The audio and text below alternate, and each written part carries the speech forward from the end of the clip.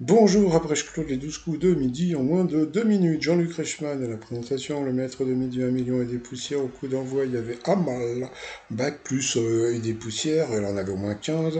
Euh, il y avait Benjamin et Justine. Euh, alors il y a eu cette question, si l'on est bien attentif, pour quelle raison peut-on voir des hiboux? Ils n'ont pas mis la photo, moi je l'ai mise sur mon autre chaîne. Je vous mettrai le lien sous la vidéo, vous allez voir, c'est très rigolo. ensuite, eh bien c'est Amal qui est passé à donc au rouge, qui dit rouge du duel. Elle a pris le go qui Benjamin Duel, qui a une question pas évidente, qui a été marié à une femme rencontrée lors de l'élection de Miss France. Il est parti sur Marc Lavoine. Tout le monde pensait à Jean-Pierre Pernaud, et en fin de compte, c'était Patrick Fiori. Emilien savait que c'était pas Jean-Pierre Pernaud, mais ne savait pas que c'était Patrick Fiori, puisque c'est euh, Jean-Luc Reichmann a balancé l'info. Ensuite, Amal, Emilien et Justine sont retrouvés au coup par coup, et c'est Amal qui s'est planté qui est passé à l'orange, donc au rouge, qui dit rouge du duel.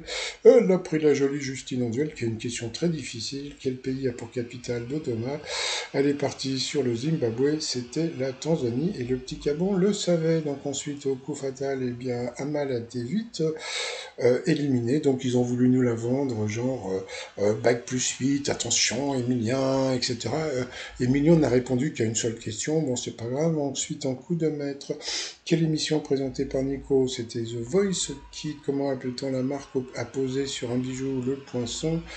Quel anglicisme désigne les cinq animaux? Il est parti sur le Super Five, c'était le Big Five. si on avait comme son fils le père du chanteur M, ça se ferait appeler L.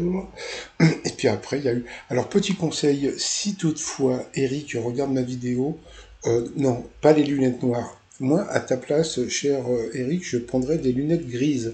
Un peu le même style, mais gris. tu vas voir, tu, seras beaucoup plus beau.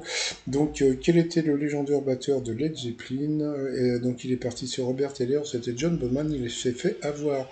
Étoile mystérieuse, bon, bah, il n'a rien pu dire. Et puis, bah, million deux pour le petit cabon. Sinon, je vous souhaite une bonne journée. Le lien pour le résumé plus complet, c'est sous la vidéo. Allez, bye bye.